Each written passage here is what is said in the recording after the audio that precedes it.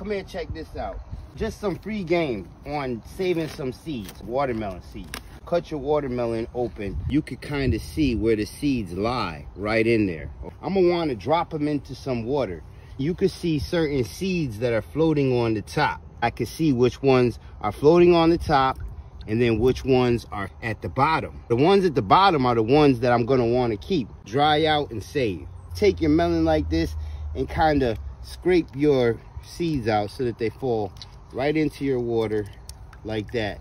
You'll be able to see which ones float and which ones sink to the bottom. Y'all been asking about these watermelon seeds, so I'm going to have some available. One of the first ways that you're gonna be able to get them is in this workshop that we're gonna do, seed saving workshop. We're gonna show you how to save seeds on different plants, everything from fruits to the little seed pods that you need to get the seeds out of if you're gonna save seeds from kale plants. Everyone that takes this class, this webinar on saving seeds is going to receive these watermelon seeds. The first batch of these seeds that we have are exclusive to those that sign up for this workshop. You need to get the information. Of course, get the seeds, save them, plant these yellow watermelons for yourself next year.